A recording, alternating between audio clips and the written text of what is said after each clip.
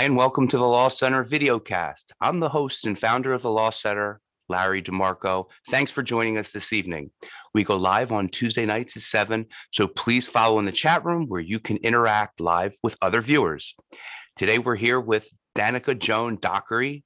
She's a certified family mediator with the Florida Supreme Court, a guardian ad litem, the author of Florida's Family Stabilization Parent Education Curriculum, a personal custody coach, and founder of Kids Need Both Inc.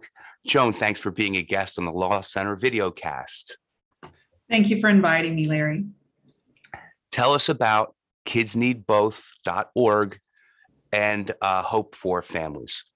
Okay, so Kids Need Both is a nonprofit and its mission is to educate those who are impacted by high conflict families.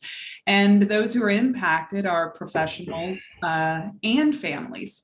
Um, and Hope for Families is a project that we at Kids Need Both have created, and it's a collaborative uh, community platform with uh, the opportunities to to take courses and to actually get plugged in to uh, communities. And um, in we are working on building strategic alliances with other organizations so that we all can work together for the common goal of bringing healing to hurting families.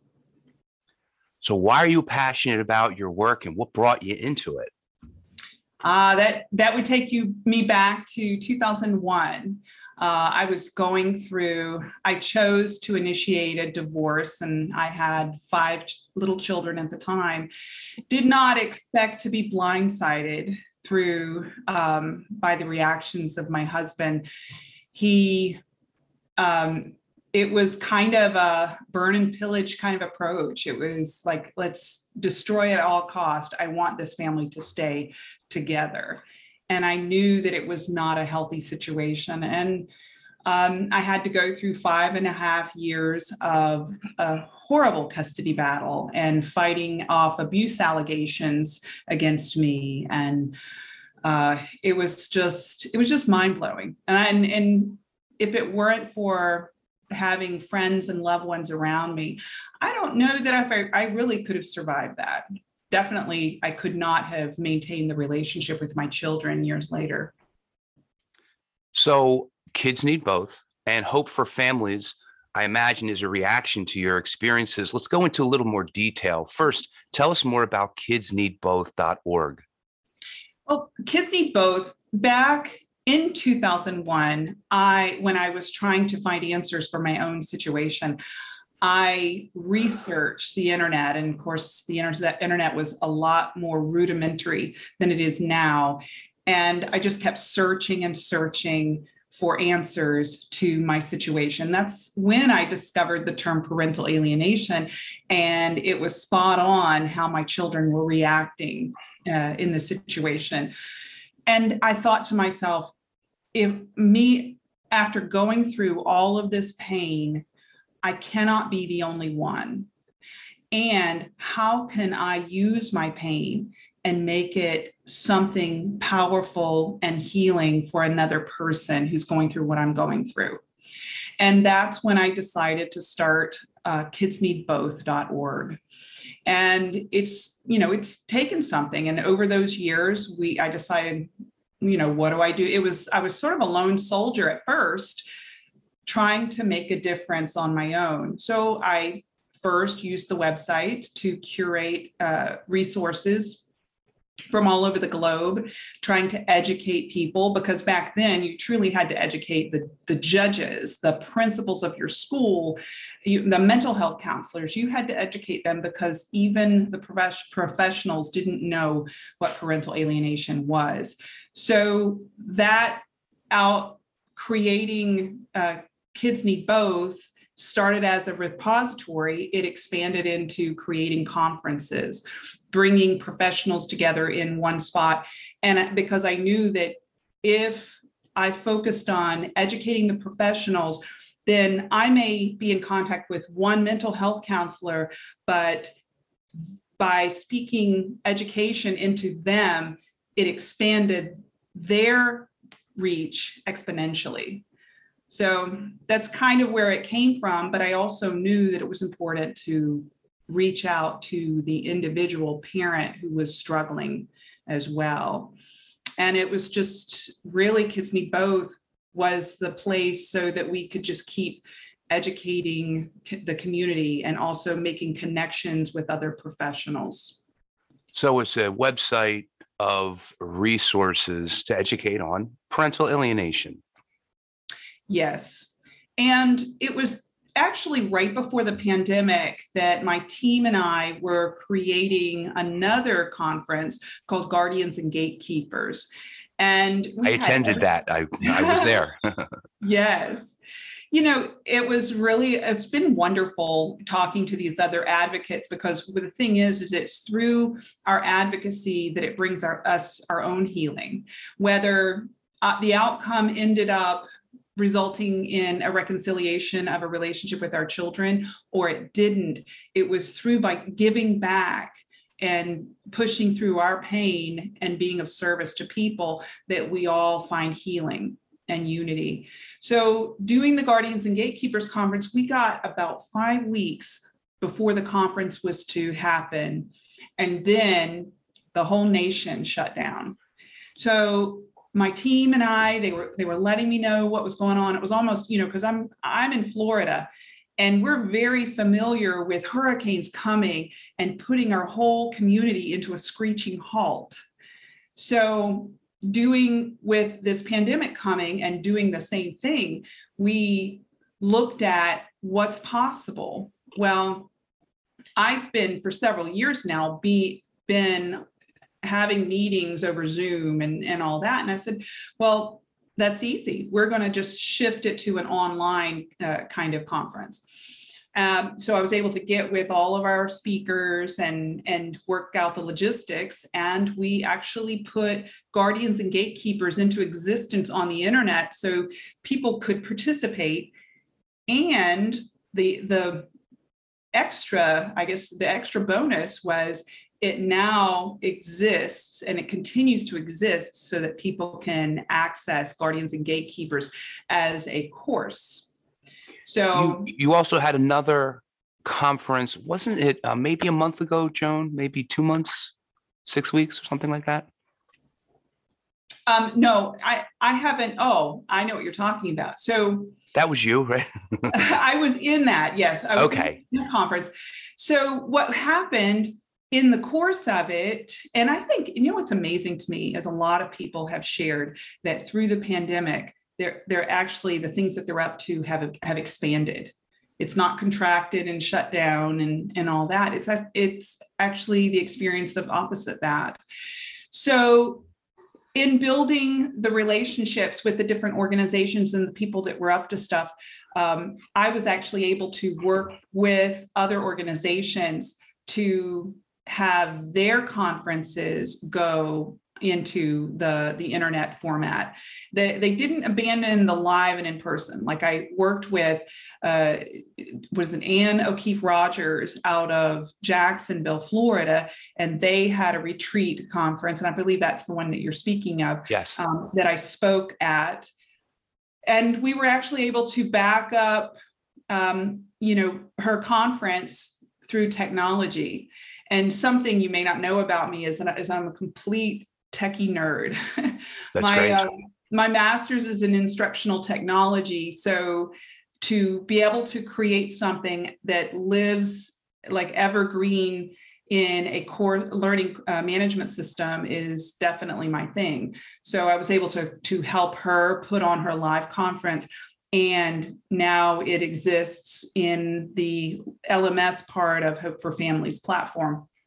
And I was able to do that also with Mark Ludwig. I went over a year ago to uh, to St. Louis, and he was putting on a conference, and it was a legislative conference because that's his that's his um, wheelhouse. And I was able to just just being a contribution helps my voice and my message expand exponentially. Very good.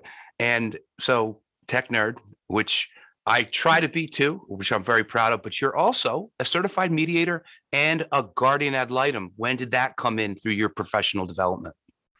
I guess it's it's me probably just wanting to have no moss under my feet and just try to do like how can I help more and more and more and it's been over the course of my years that I've been able to write the family stabilization course for parents because that was really my connection to parents. I was working with professionals, and now this I could actually personally impact parents going through separation and divorce with a course that they already have to take anyway.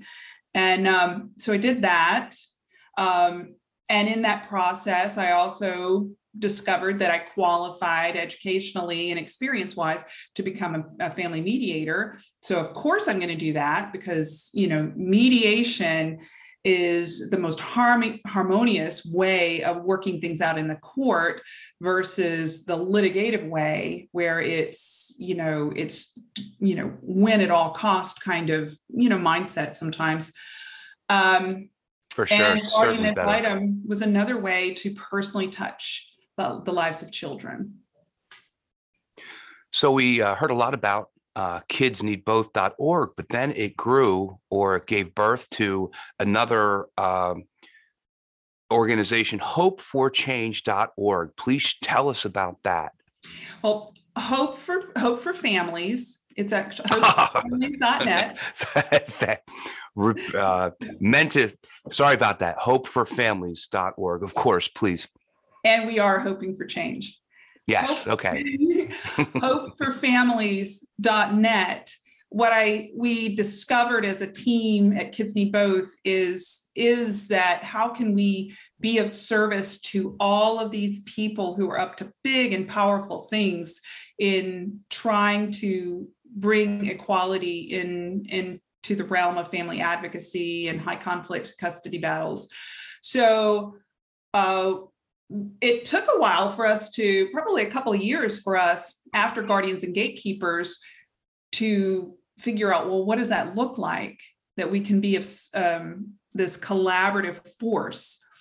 So then we said well let's do a platform because that's the nerd in me and the educator in me i've got to have like that learning management system component.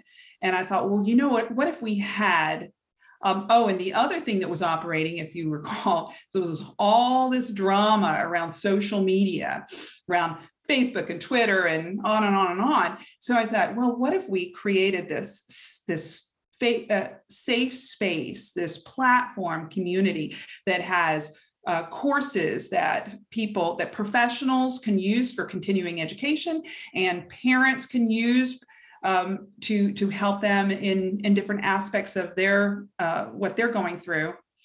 Uh, we also wanted to have a place like the where a professionals directory so that we could curate all of the professionals that we knew were up to up to good things and they they are people that we endorse as these are the good guys and then of course, we wanted a place for people for all of these people. If they're doing events, how can we put that into a calendar?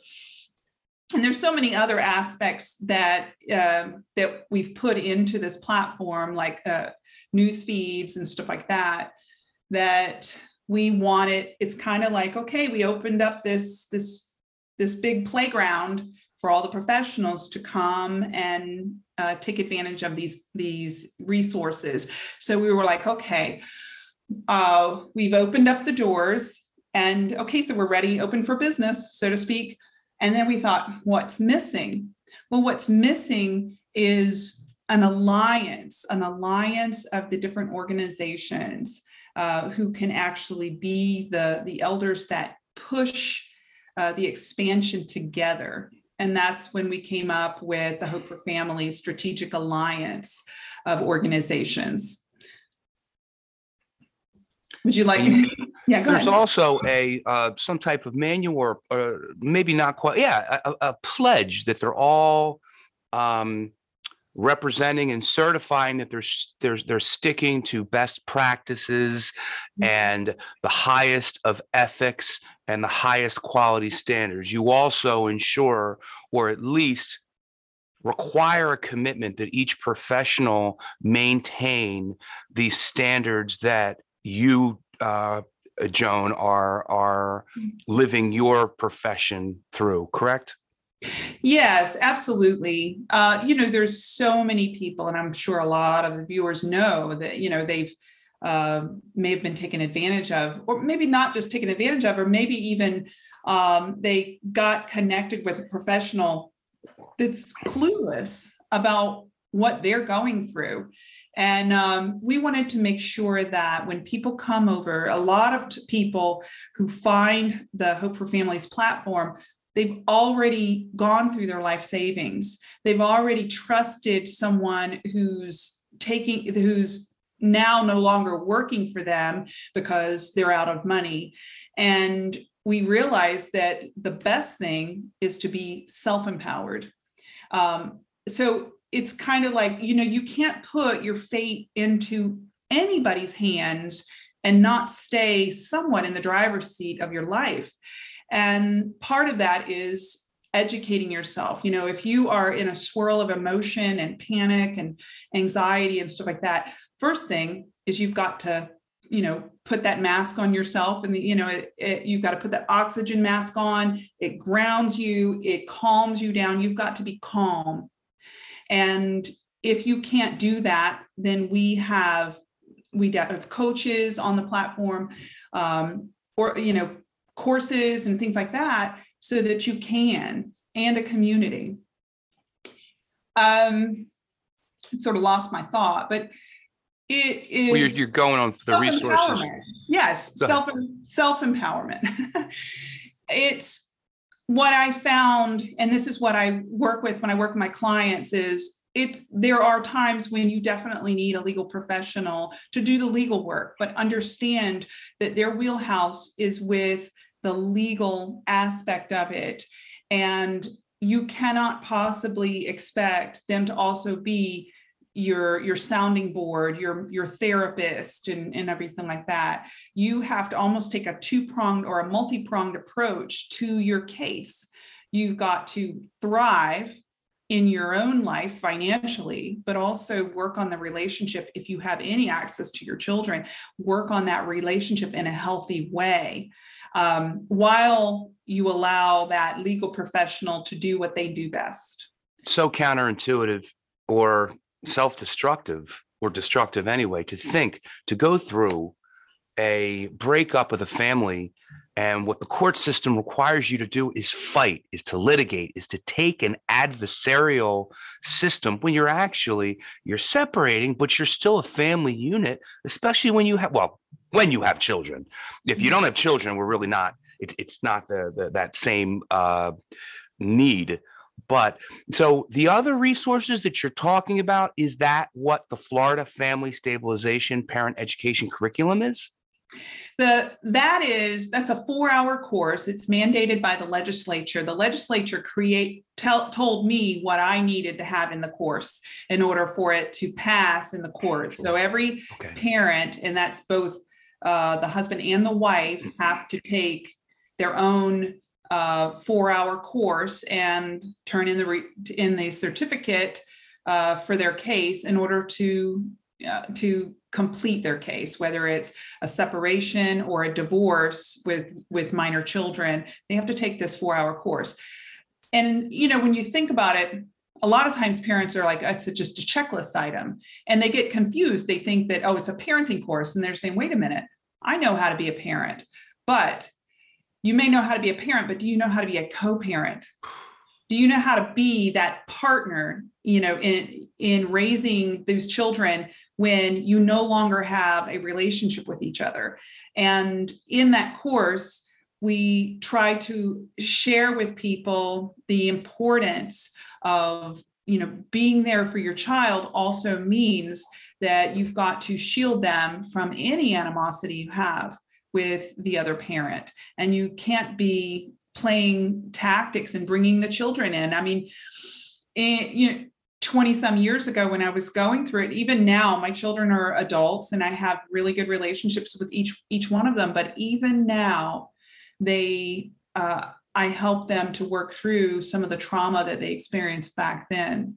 Um, and so it is it's important that we somehow pre- prevent educate ourselves so that we don't unknowingly cause additional trauma to our children. And that's pretty much what the course is all about.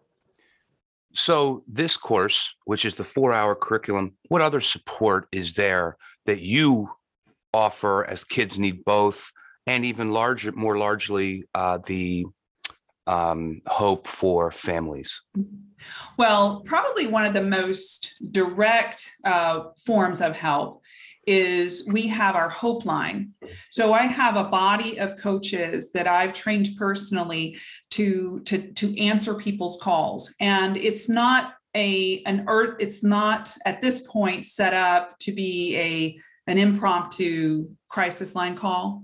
It is something where you have to schedule a time with a coach for no charge so that you can be connected and to them and they can share with you the resources that are available and also coach you through what it is that you're going through. A lot of people do not realize the value of coaches and and i guess and in fact in the industry the coaching industry it's almost like a big joke you know if anybody could be a coach but in the realm of the Hope for Families coaches, my vision is to also bring in family mediators, certified family mediators, and teach them uh, and help them to join our coaching body. And the reason for that is that family mediators are very underutilized. They um, there's it's starting to get in the courts the importance of mediation, but typically when you go through a divorce and they require you to go to mediation before you get your final judgment, people just think it's a checklist item. They don't realize the value of being able to determine the outcome of your family so that your the judge does not have to make the decision for you. Sure, I think the lawyers have a lot to do with that in an adversarial system, lawyers feel that it's their job to help you, quote unquote, win. But if one parent wins in the traditional uh, definition of a legal battle, then really both parties in the family ends up losing, don't you think? Absolutely. And I've seen it because I've I've mediated different situations where where I have had a party represented by an attorney. So the attorney comes in to the mediation as well. Um, and I've had it where where the parties have been pro se. And you know, I have no other agenda. Like I'm so as a mediator, you're so neutral. And with being having a heart for children, if I have any bias, it's what's for the best interest of those children. And when I conduct a mediation with uh, pro se litigants, it was it's actually uh, works out so much better where people I can you know getting people on the same same page. Whereas when one or both is represented by a lawyer, the lawyer is in their ear giving them doubt. You know, always you know finding a way that their their client is giving up something Sure, I'm sure it's it's typical that you've uh, reached a resolution between two parties, and then they go talk to the lawyers, and then it falls apart at the legal stage. I'm sure you've had that experience. Definitely. yeah, yeah. So, how can we utilize these amazing certified family mediators? But to put them, they've they're already trained to communicate with people who are adversarial and um, and they know something about the law even if like i'm an educator mediator uh, they have mental health counselors who are eligible to be mediators and then there's legal professionals that are eligible to be mediators. And even though i'm not a lawyer mediator i do have um, the foundations for how re- relationships for, should, would work. In fact i would assert that as an educator and that i have those qualities, those communication qualities um, that maybe a lawyer mediator do, does not have. Sure, it's part of the, that training, but one thing that I would advise families who are involved in the the litigation system is if you get a lawyer to help you resolve your situation with your ex, make sure you go to a lawyer who is what I would call mediation friendly. And I'm sure you have uh, a few lawyer friends on speed dial that you say, hey, if you get a lawyer, use this one. He understands the need to get it done without fighting and Yes. that the value of an agreement. They exist. It does. And, and the thing is, it goes back to take control of your case, be self-educated, self-empowered. Because the thing is, is people will call our, our Hope line and they'll ask for uh, who, where's an attorney? And I'll say, wait a minute, wait a minute. First of all, we got to find out where your case is. What jurisdiction uh, is your, does your case reside?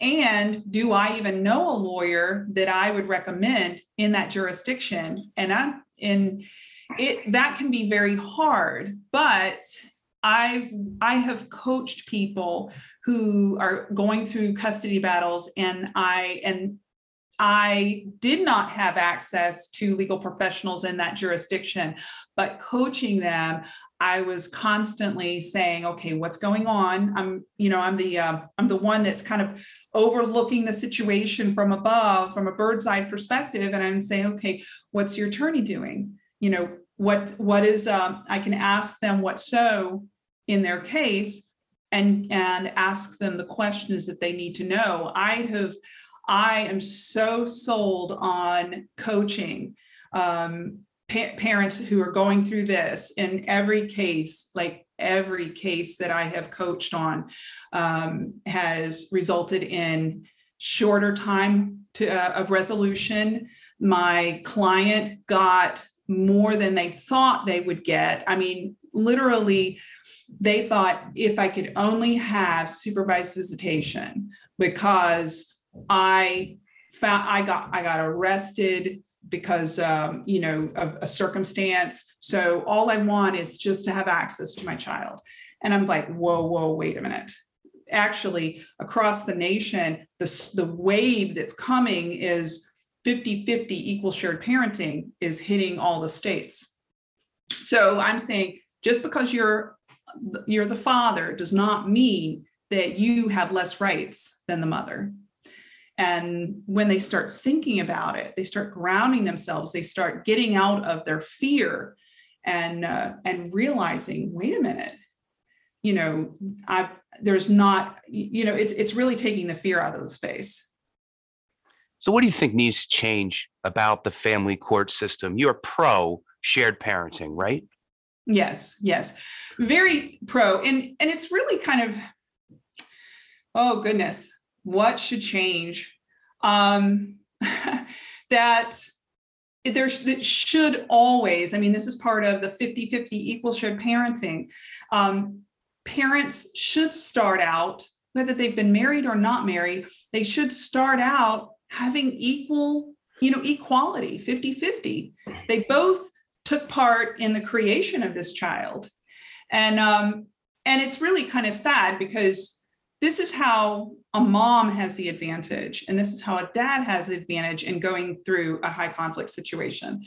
If you've never been married to dad, mom automatically starts with 100%, and dad has to fight for his 50% and more than likely he gets less than that. Now in the in another situation if the parents were married then dad has the advantage because um and especially in my situation we were married dad had the advantage because he made the accusations that put shadow of doubt in the court that i was you know a good mom so then i had to work work towards regaining my 50-50. So, and it shouldn't be that way. In fact, if it was not an adversarial situation, if the courts would take a stand that, all right, we're going to presume 50-50, and you have to prove, prove without a doubt why it shouldn't be 50 50. Or the other one parent says, listen, you know what? It doesn't work in my situation for me to exercise my 50%. So instead of you taking it from me, I'm going to give it to you. Then it becomes more of a workability kind of situation. And just to flush through what you were talking about, you made a comment, the, the woman always has the advantage when they're not married. And I think the biggest reason there is because the woman has possession. She, the possession starts, that advantage is, all right, well, if you're in possession and he's out of possession, then he's going to be a visitor or he's going to get a limited amount of time and not take out from a stable home. And then during the marriage, you said the man has an advantage. You qualified that by because he makes usually the man will make a false allegation. So I, I would like to just put a more gender uh, non-specific specificity there. A false allegation, unfortunately, can be used as a silver bullet, really by either parent. And in in your situation, um, you know, was made by the man, but unfortunately, uh, I think that courts need to have penalties for when people make false allegations. And right now, it's not even enforced when that happens. Yeah, they're not. The judges are, they are trying to make a determination that does not put the child in, in harm's way. Uh, so a lot of times, so that they don't have to make a decision, they just keep pushing, just put, kicking the can down the road, hoping that, that they'll find resolution amongst themselves. And in fact, if the, you know, if the parents don't go back to court, they just stopped going because they ran out of money or whatever, or one just gave up, um, then the court system says, ah, I guess we solved that problem. Uh, Unfortunately, um, Danica, we're out of time, but I want you to tell, this will be in the description portion of the video, but I would like you to share how people can get in touch with you verbally so they can hear it as well.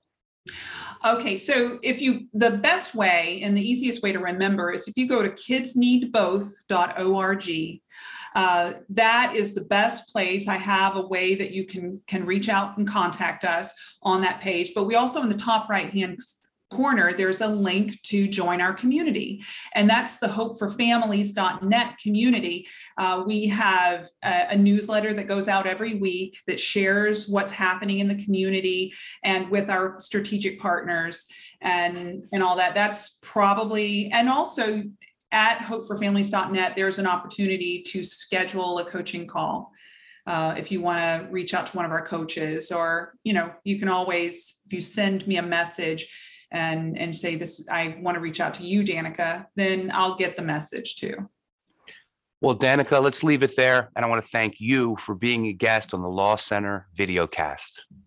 thank you for having me We've been here with Danica Joan Dockery, and I am your host, Larry DeMarco. Thanks for watching. Don't forget to like, comment, share, subscribe, click the notification bell to be alerted of new Law Center videos. Tune in every Tuesday night at 7, where you can watch with other viewers uh, on the right side of the screen. Check the description portion of this video where you can learn more, learn more about uh, Danica and the Law Center. Signing off. Tune in next time. Bye for now.